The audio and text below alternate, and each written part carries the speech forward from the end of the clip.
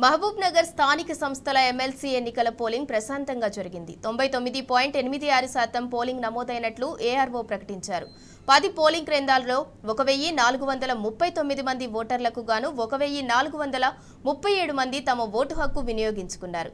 Nagar Kurnool Narayanpet polling కేంద్రాల్లో ఒక్కొక్కరు చొప్పున ఓటేయలేదు. పది పోలింగ్ కేంద్రాలకు గాను ఎనిమిది చోట్ల వంద శాతం పోలింగ్ నమోదైంది.